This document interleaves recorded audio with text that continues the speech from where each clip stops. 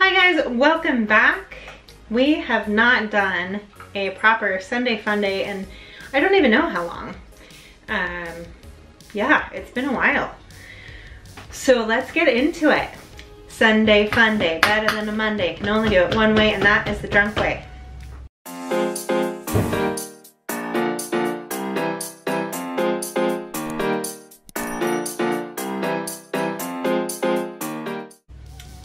Don't think we will be getting drunk this Sunday, but we do have something I've been wanting to try for a while now. I saw this beer online sometime uh, last year, probably in the summer. I forget why I was even looking for it. I think I was just looking for unique beer flavors. But, if you can see that.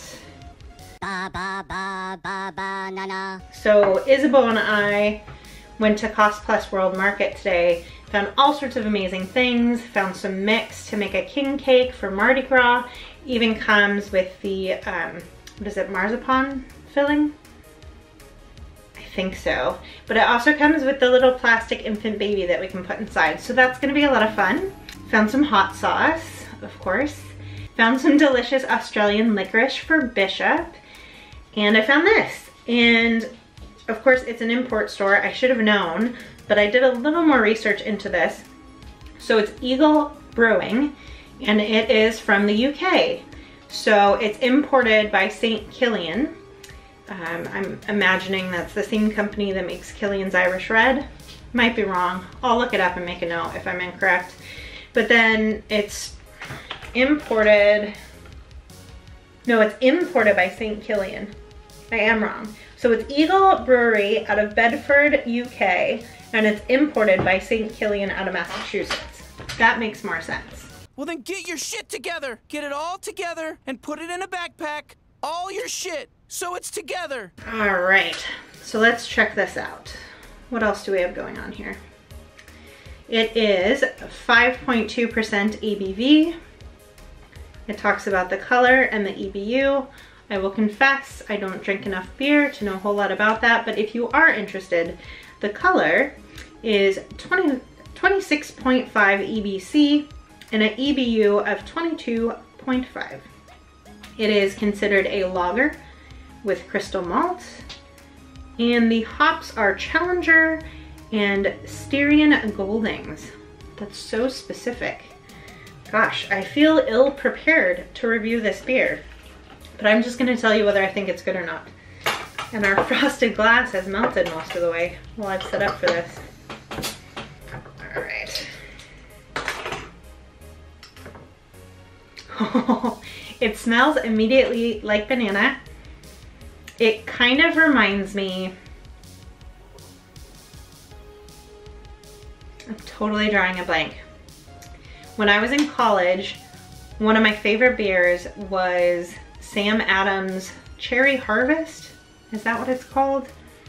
It's, it's just a, a lager with a bit of cherry added in. But it was one of my favorites and this smells just like it, but banana instead of cherry.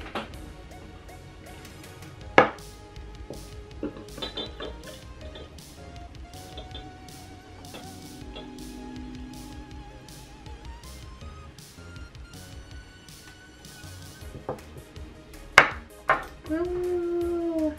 Excellent. All right.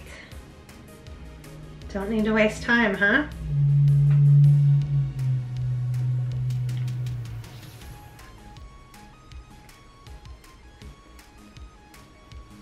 Okay. Yeah, it definitely has a strong banana flavor, not artificial. And of course, because it's beer and it's made with wheat, it definitely is reminiscent of banana bread.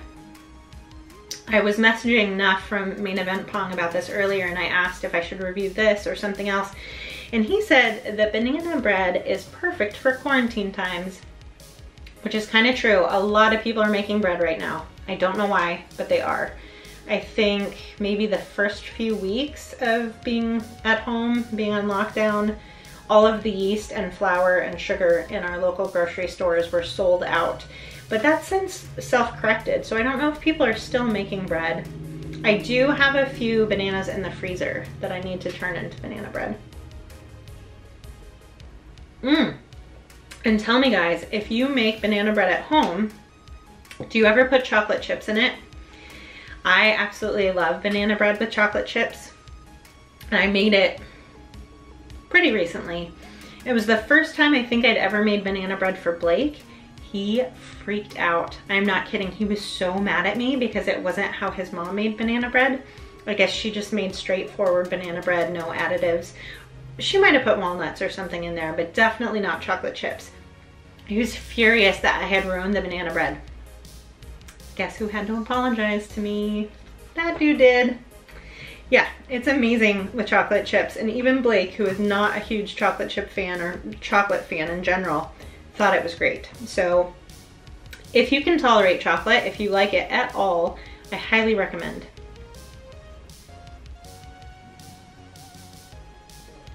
Hmm. Yeah, that's very unique. Huh. So question is, would I buy it again? Mm, probably not. I love fresh bananas. I'm not a huge fan of things with banana added to them. Although, like I said, I do like an occasional banana bread, banana muffin. But even then, that's not what I would typically go for. Like if you gave me the option between a banana nut muffin and a lemon poppy seed muffin, I'm going le lemon poppy seed 100% of the time. Um, but again, it doesn't taste like that nasty banana artificial flavoring they add to candy. So I like that.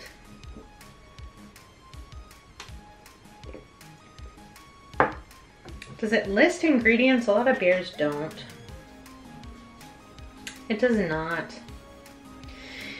Yeah, it just says fresh bananas pack a whole bunch of aromas while rich malty hops deliver a seriously fruity flavor, all perfectly balanced by a masterful blend. So I don't know. Oh, it does say, okay, on the front it says malt beverage brewed with bananas and banana flavor added. So it does have both actually. Interesting. Yeah, so I wouldn't buy it again.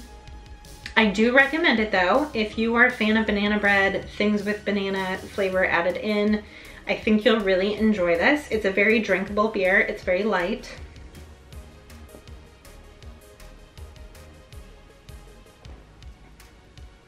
Yeah, I think even if they remove the banana flavor from it, it would be a perfectly delightful casual beer to enjoy for your Sunday fun day. Excellent, excellent. Well, it is good to be back with you guys. I hope that you are enjoying a delicious beverage today, uh, whether it's alcoholic or non. And with that, I am Katie Prettyman, the world's okayest competitive eater, and I am hoping that you have an awesome Sunday. Bye.